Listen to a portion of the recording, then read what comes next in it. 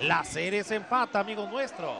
Así que mañana descanso y pasado mañana regresa la serie a Mazatlán, Sinaloa, o mejor dicho, va la serie a Mazatlán, Sinaloa, para efectuar el partido número 3, número 4 y número 5, porque esto está empatado a un juego por bando. No venía en su día definitivamente Rolando Valdés, y bueno, la ofensiva de los Venados de Mazatlán explotaron los cañones, con rally de una carrera en la segunda entrada, dos en la tercera, cuatro en la cuarta, remacharon con otra más en el séptimo rollo, y así luce este estadio el Tomás Oros Gaitán, que fue una gran fiesta beisbolera que hemos compartido con ustedes a través de Mega Cable. Está Andrés Iván Mesa que se lleva el laurel, mientras que carga con el descalabro Rolando Valdés. Aquí está el resumen, señor Valenzuela. Bueno, Max eh, Ramírez producía la primera carrera en el cierre del primer eh, capítulo. El out en la registradora cuando intentaba anotar Alex Lidi. Sin embargo, Justin Green ya había pisado el home abriendo así la pizarra y todavía Dustin Martin con este imparable se traía a Max Ramírez Sajón, pero el out en la intermedia para que fuera el eh, tercero del episodio. Sin embargo, se anotaron dos carreras para el equipo de Ciudad Obregón en la primera entrada. En la segunda se acercaron los venados con este imparable de Olmo Rosario produciendo carrera anotada por Yuneski Sánchez y en la tercera Par de carreras más para el equipo de Mazatlán. Y en la cuarta tronaron los cañones. ¡Bum! ¡Vámonos! Agustín eh, Murillo llevándose por delante a Jeremías eh, Pineda. Con, conectaba el cuadrangular de par de carreras. Se movía la pizarra cinco carreras por dos. El equipo de los Venados de Mazatlán estaba atacando el eh, picheo del abridor. Todavía Esteban Quirós conectó el batazo hasta lo profundo del jardín central se convertía en eh, doble de Esteban eh, Quiroz y después eh, Sai Hanker conectaba el batazo de cuadrangular. ¡Pum! Vámonos por el jardín izquierdo. Cuadrangular de una rayita más, de par de carreras más. Se llevaba por delante Esteban Quiroz. El rally era de cuatro en ese capítulo. Y el equipo de los Venados de Mazatlán estaba ganando al momento siete carreras por dos. Pero en la sexta, los Yaquis de Ciudad Obregón, Alex Lidy producía con ese rodado. Justin Green anotaba la carrera. Esteban Quiroz tuvo una gran noche ofensiva. Y aquí, ¡pum! ¡Vámonos!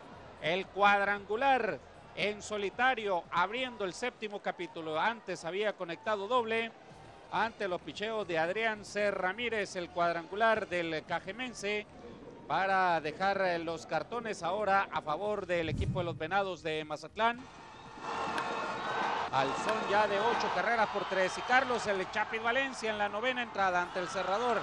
Steven Hesley estaba conectando el doble productor de carrera. Alex Ledy estaba anotando, sin embargo, se quedaron cortos los Yaquis cuando el emergente Iker Franco era dominado con este elevado para el out 27. La victoria de los Venados de Mazatlán, ocho carreras por cuatro, empatando así la serie semifinal. Así es, amigos nuestros, muchas gracias por acompañarnos. Aquí estamos viendo la frialdad de los números, la victoria para Andrés Iván Mesa, que empareja estos números son una victoria y una derrota, mientras que Rolando Valdés, idem, una victoria y un descalabro. Ahí vemos cómo se empata la serie en juego por bando. El partido de pelota tiene en estos momentos una duración oficial de 3 horas con 20 minutos y una asistencia oficial de 10.381 aficionados. En el trabajo de mesa, 5 2 tercios, 5 hits, 3 carreras, 3 bases, 4 ponches y deja una efectividad de 5.40. Los venados de Satan, una furiosa ofensiva de 14 imparables, incluyendo 3 cuadrangulares y allá en Mexicali y Baja California. Los Águilas vuelan en todo lo alto, ganando 10 carreras por una en la parte alta de la octava entrada y están en la vía correcta de adjudicarse la victoria y con ello se estaría poniendo la serie dos juegos a cero y sería la segunda ocasión en series consecutivas de que los Mayos de Navojoa están abajo 2 a 0. Pero esto es nuestra próxima transmisión.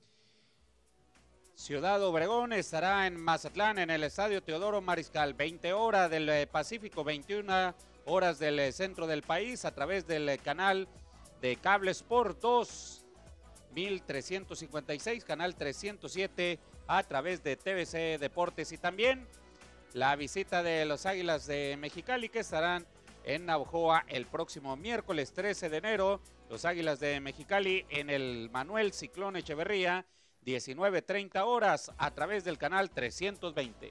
Bueno, y amigos nuestros, en el tercer partido de esta serie entre los Venados de Mazatlán y los Yaquis de Obregón, los anunciados son Walter Silva, el experimentado lanzador por los Venados de Mazatlán y por los Yaquis de Obregón, lo hará David Reyes. Así que amigos nuestros, gracias por acompañarnos en este gran platillo beisbolero desde el estadio Tomás Oros Gaitán en la producción de Miguel Gutiérrez, César Gastelo, Luis Enrique Valenzuela y un servidor Jorge Morgan. Le agradecemos su compañía y espero que haya disfrutado tanto como nosotros de este platillo beisbolero. Los invitamos para que siga disfrutando de todo el sabor del béisbol. Las semifinales de la Liga Mexicana del Pacífico a través de Megacable. Buenas noches.